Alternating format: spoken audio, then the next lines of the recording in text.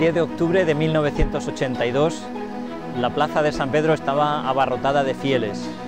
Más de 200.000 personas se habían reunido para esta ceremonia, la canonización de Maximiliano María Colbe, polaco, franciscano, el loco de la Inmaculada, apóstol incansable de la Virgen María, lleno de celo por la salvación de las almas, que en medio de su enfermedad y sus deficiencias físicas, limitado por la tuberculosis, fue apóstol en la India, en Japón, llegando a crear en Polonia toda una ciudad en honor de la Inmaculada, Niepokalanu.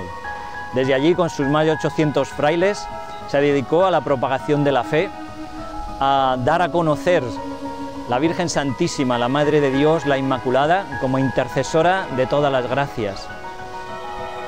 En aquella ceremonia del 10 de octubre de 1982 había un cierto aire de misterio, porque Maximiliano Kolbe había sido beatificado como confesor de la fe, pero algunos esperaban que pudiera haber un cambio. En el momento del comienzo de la ceremonia, San Juan Pablo II, el Grande, también polaco, apareció vestido con los ornamentos rojos. De tal manera que el apóstol de la Inmaculada, el loco de la Inmaculada, fue canonizado como mártir de la caridad, a imitación de Jesucristo. Nadie tiene amor más grande que el que da la vida por sus amigos.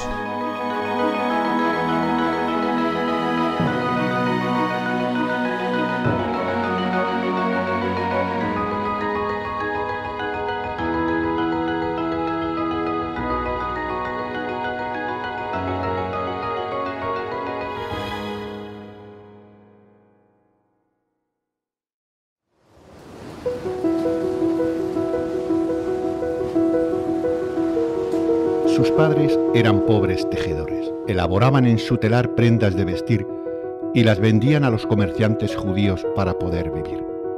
Su madre era una mujer profundamente religiosa. De hecho, quiso ingresar en un convento, pero no lo permitía en la situación económica de su familia, porque no podían aportar la dote que entonces se exigían los conventos. Y por tanto, pues decidió casarse, pero le pidió a Dios, como una gracia, el tener un marido que no blasfemase, que no fuese a la taberna a beber alcohol, y Dios le concedió la gracia de conocer un hombre bueno, profundamente religioso como ella, Julio Colbe. Tuvieron cinco hijos varones, pero de estos cinco dos murieron bastante temprano sobreviviendo solamente tres, Francisco, José y el santo que es el protagonista de nuestra historia, Raimundo, que después tomará el nombre religioso de Maximiliano.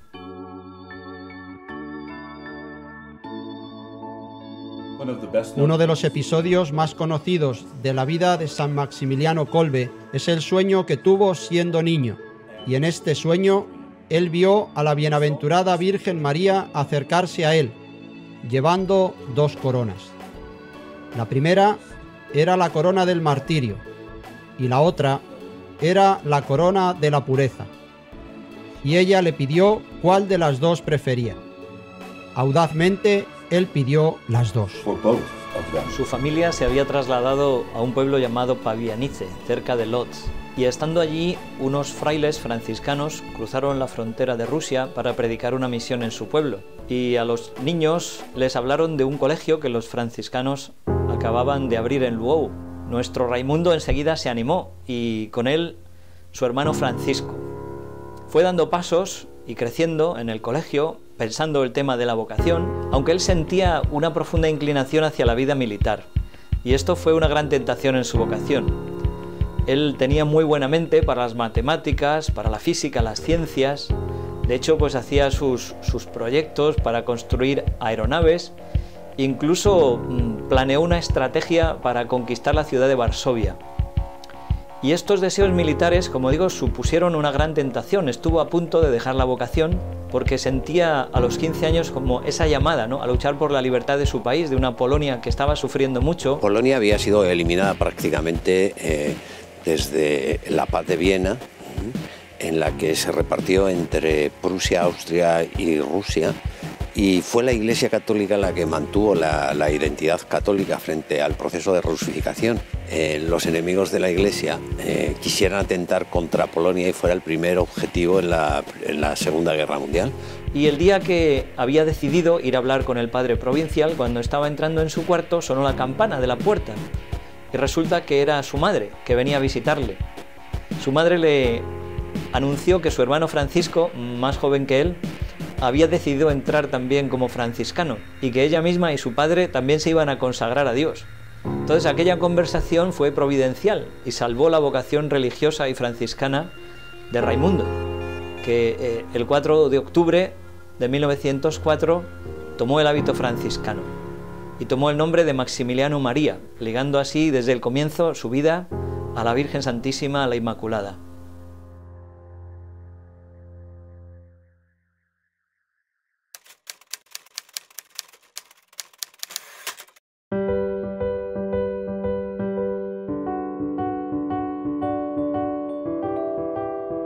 Terminado el noviciado, el padre provincial quiere que continúe sus estudios de filosofía en Roma. Su primera reacción fue pedir entre lágrimas que se le borre de la lista, pero después de un rato de oración vuelve al provincial para decirle, Haga de mí lo que quiera. A lo cual el provincial respondió, irás a Roma.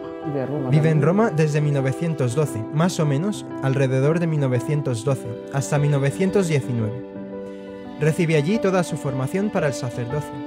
En 1914 emitirá su profesión solemne. El periodo romano fue fundamental para Maximiliano, porque aquel tiempo fue la base para todo lo que vendrá después.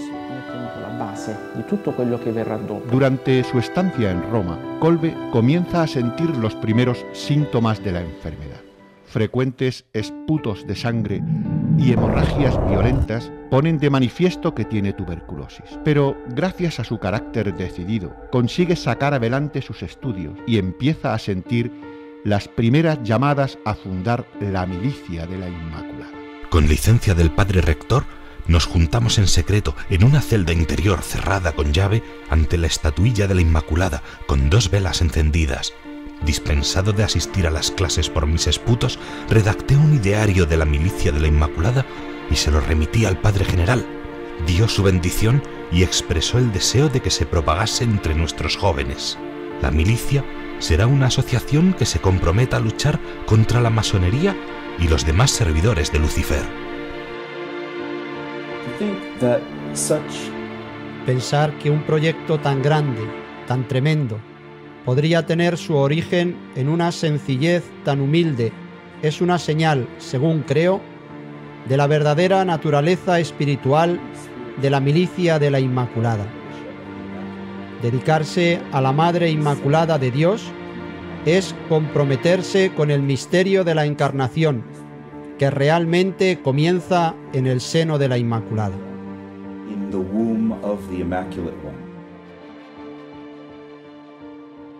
Terminados sus estudios de filosofía y de teología, Maximiliano es ordenado sacerdote el 29 de abril de 1918. Es ordenado en la iglesia de Santa Andrea de la Valle y elige para celebrar su primera misa una iglesia, un altar muy especial. El altar de la Virgen de la Milagrosa, que se encuentra en la iglesia de Santa Andrea de Lefrate, el lugar donde la Virgen Inmaculada se apareció Alfonso de Ratisbona convirtiéndole completamente de hebreo en católico. Cuando San Maximiliano celebra su primera misa lleva una larga lista de intenciones. Al final de todas, escrita en latín, lleva una muy significativa, Amorem usque ad victimam, que significa el amor hasta ser víctima, el amor hasta el sacrificio de la propia vida y es como una premonición de ese martirio, de esa entrega que consumará su vida por el amor al final de sus días.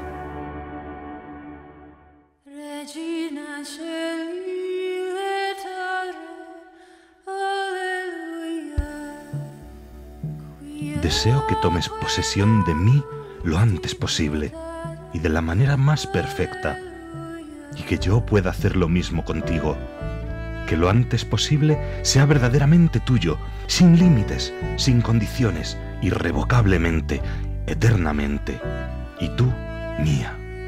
Cuando San Maximiliano habla del acto de consagración, él sabe distinguir muy bien lo que es la voluntad de lo que es el sentimiento. Y señala como muchas veces ese acto de consagración, eh, de entrega, pues puede ir acompañado a veces por la sequedad o por la frialdad. Pero él recalca mucho que esa consagración, esa entrega de sí mismo a la Virgen María, a la Inmaculada, es un acto de la voluntad. Dice él, un acto de la voluntad por el que uno se entrega a la Virgen y que no es nunca revocado. Basta eso. Y cuando algunos jóvenes se acercaban para pedir el ingreso en el convento, para él el criterio de discernimiento es que tuvieran la decisión y la voluntad de querer consagrarse del todo a la Inmaculada, pertenecerle, ser suyos. Ese era como el criterio de discernimiento de una vocación.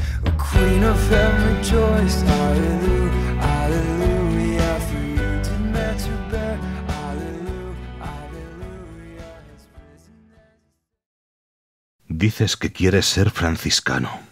Bien, pero dime si aún perseveras en tu propósito de dedicarte a la Inmaculada, si deseas realmente consagrarle tu vida, consumirte y estar dispuesto a acabar tu propia existencia por el hambre, exponiéndote por ella a las privaciones y al riesgo de una muerte prematura.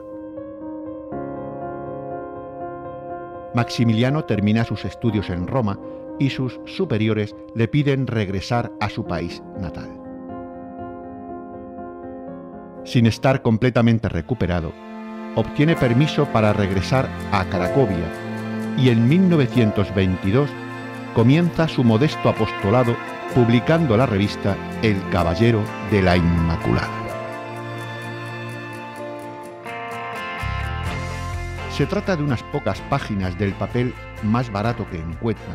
No es una revista política, sino que está totalmente dedicada a la gloria de la Inmaculada. No escribáis nada que no pudiera firmar la Virgen María.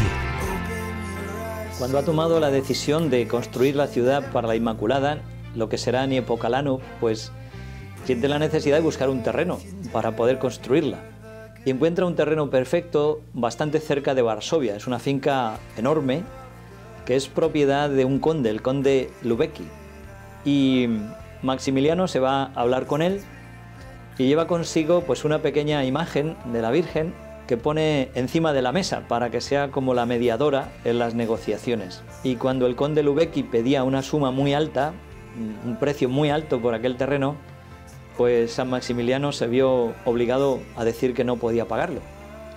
Y se fue dejando la pequeña estatua de la Virgen encima de la mesa del conde.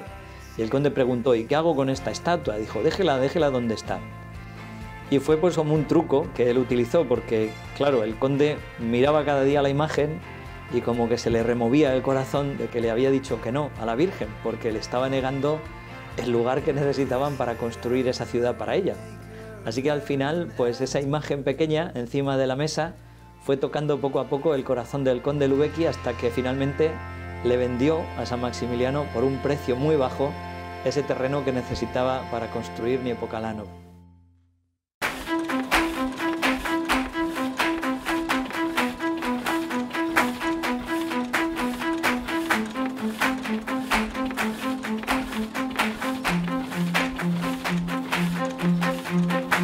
Hipocalanum es un sitio impresionante, es un convento editorial.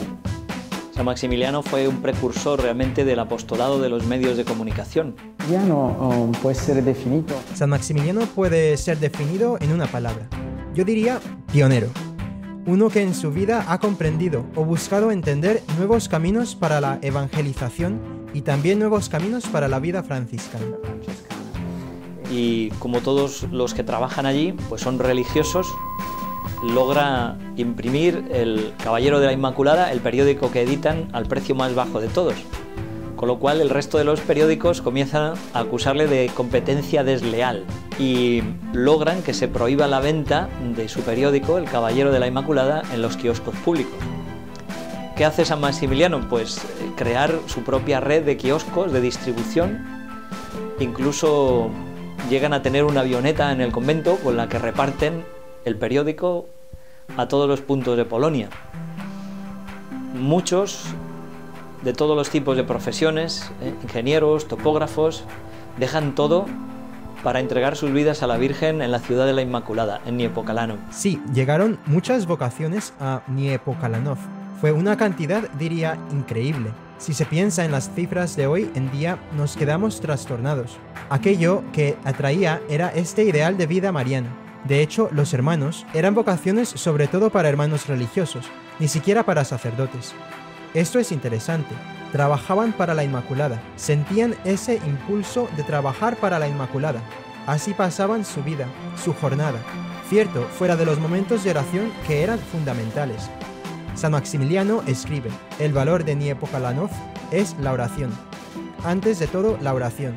La primera cosa que hace cuando funda la ciudad de la Inmaculada es construir una capilla resistente, muy resistente. Pero lo primero es la construcción y luego viene todo lo demás. el resto.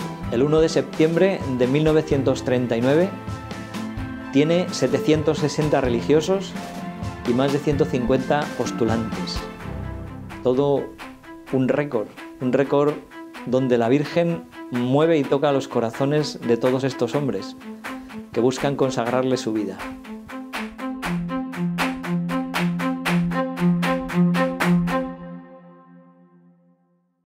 ¿Habla usted japonés? No. ¿Tiene dinero? No. ¿Qué piensa hacer? Me dirigiré a mis protectores habituales.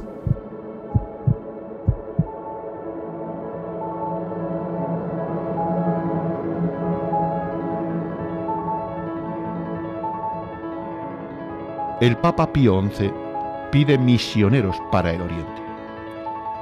El padre Maximiliano siente gran atracción por las misiones desea fundar otra ciudad para la Inmaculada en el Japón. San Maximiliano sintió desde joven la llamada a las misiones, podemos decir como la fascinación por el Oriente. Y aunque todavía débil de salud y obtenido el permiso de sus superiores, con otros cuatro franciscanos de su misma orden, franciscanos conventuales, se dirigen hacia Japón. Desde Polonia hasta Japón es un viaje largo, horas y horas en tren, por barco, y en esas largas horas no para de trabajar, sigue con sus grandes ideales en el corazón y en su cabeza, es decir, sabe combinar los grandes ideales y las realidades, los detalles pequeños de apostolado. Cuando llega a Japón su salud, como digo, es todavía bastante débil, tiene fiebre, se tambalea, a veces tiene que celebrar misa apoyado, sostenido por sus, por sus hermanos de comunidad. Cada mañana se levanta diciendo, la Inmaculada todavía no ha querido llamarme. Pero Dios premiará su fidelidad y consiguen que en poco tiempo la revista del Caballero de la Inmaculada se publique en japonés. Y además de distribuirse en Nagasaki, será también distribuido en China y más tarde llega hasta la India, incluso hasta Arabia. Hoy publicamos El Caballero japonés, tenemos una imprenta, Gloria a la Inmaculada. A pesar de su gran éxito, sus hermanos en religión ven su falta de salud. Su superior encuentra así la excusa para que regrese a Polonia. Pocos meses después de su regreso a Polonia, es nombrado de nuevo padre guardián de Iepocalanuf.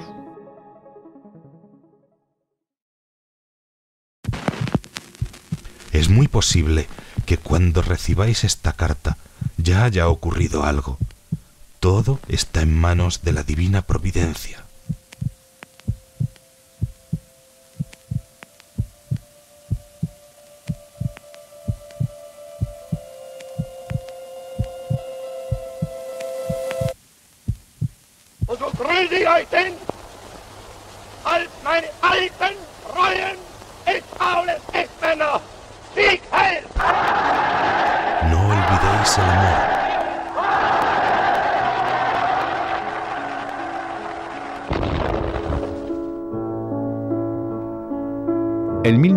1939, los tanques de Hitler cruzan la frontera, arrasando la caballería polaca.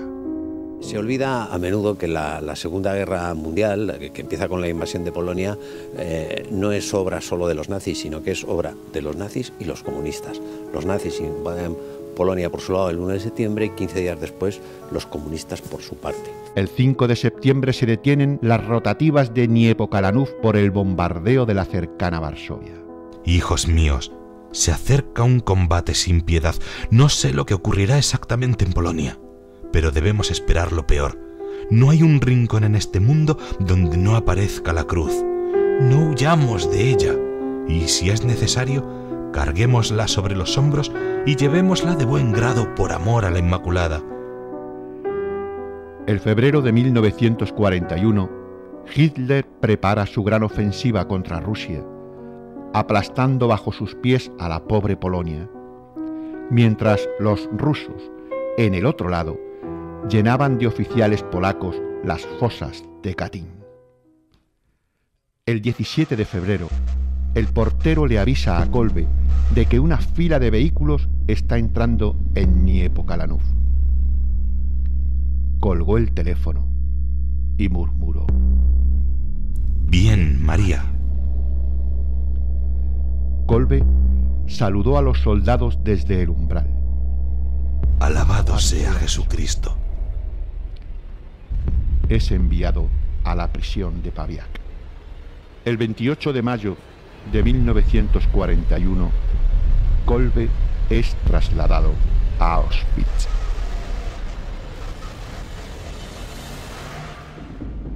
Con la cabeza rapada y vestido de harapos a rayas, se ha convertido en el prisionero número 16670. Desde la publicación de la Mitbrennen den Sorge, eh, eh, Hitler eh, empezó a encarcelar ya católicos en los, en los campos de, exterminio. conocemos figuras emblemáticas como Eddie Stein o Maximiliano Kolbe, pero fueron muchos sacerdotes católicos los que se exterminaron y en, en los campos de exterminio. Todos en el campo saben que es sacerdote y por eso le reservaban los trabajos más duros. Transporte de cadáveres, recoger las ascuas del crematorio, a cargar pesados troncos que le hacen tambalearse. Una rebanada de pan negro constituye el plato fuerte para todo el día. Los compañeros que tuvo con él en el campo de concentración en Auschwitz testificaban su caridad heroica realmente y uno de los datos o de los detalles que muestra esta caridad era el tema de la comida. En un campo de concentración la comida es escasa, que hace muchísimo más duro el trabajo, eh, el frío, todo resulta más duro cuando el hambre atenaza el estómago. Y en medio de esta situación, Maximiliano Kolbe era capaz de repartir la mitad de su comida con algunos mm, de los que estaban allí y que estaban más débiles o estaban enfermos y este gesto de caridad heroica llamaba la atención profundamente a los que estaban con él viviendo en esas mismas condiciones.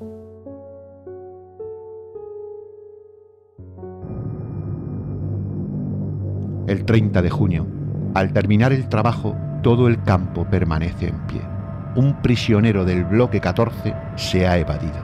Es el bloque al que pertenece el padre Maximiliano.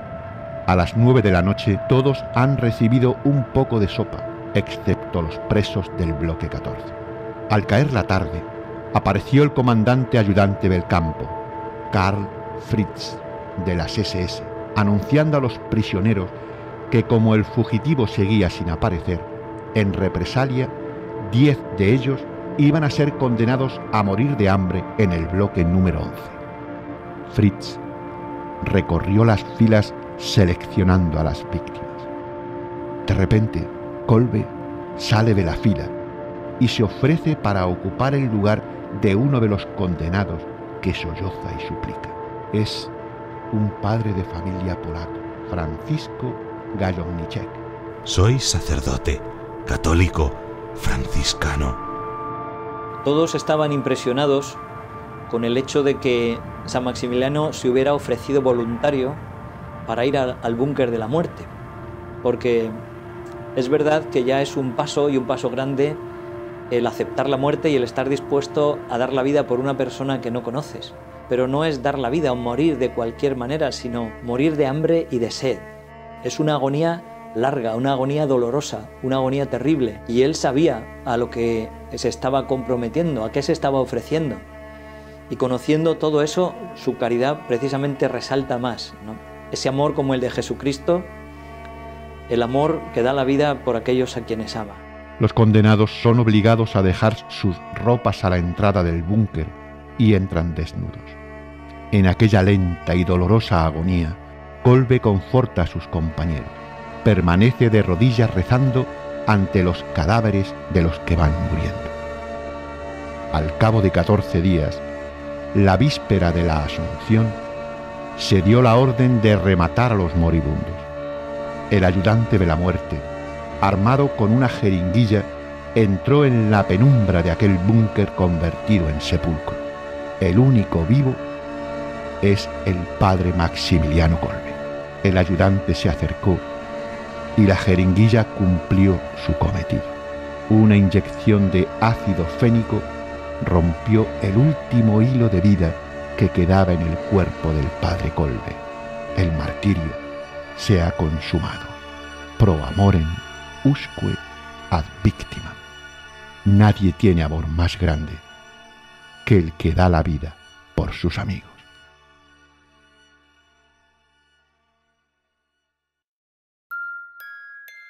Podría parecer que la vida de San Maximiliano Colbe ha tenido un final triste y que una vida de un hombre tan generoso, tan grande, tan entregado, pues ha sido tragada por esa boca negra de las ideologías, de esos poderes políticos que tratan de luchar contra Dios, como dice San Pablo en la carta a los romanos, que tratan de aprisionar la verdad en la injusticia. Pero la fuerza de Dios, el amor de Dios, la sangre de los mártires se manifiesta siempre más poderosa eh, que todas las fuerzas del mal. Y lejos de poder aplastar esa vida, vuelve a surgir nuevamente, produciendo como la espiga nuevos frutos, frutos de santidad, frutos de entusiasmo, frutos de vida nueva, frutos de vidas que se vuelven a entregar a Dios y a consagrar a Él. Es impresionante la vida de San Maximiliano, esa dimensión mariana, ese pertenecer completamente a la Virgen, ese haberle consagrado su vida. Y se ve que la devoción mariana, cuando es auténtica, ese entrar en la escuela de María, ser hijos de esa mujer fuerte que estuvo al pie de la cruz, pues transmite a sus hijos también esa fortaleza, esa generosidad, esa fidelidad hasta llegar al don de sí mismo, a la entrega completa de sí mismo. Eso es lo que vemos en la vida de San Maximiliano Colbe y Él nos invita también a renovar nosotros esa consagración, esa entrega, esa pertenencia, eh, ese nervio mariano dentro de nuestra vida cristiana. Decir como Él, oh Inmaculada, Inmaculada, Inmaculada, te pertenezco.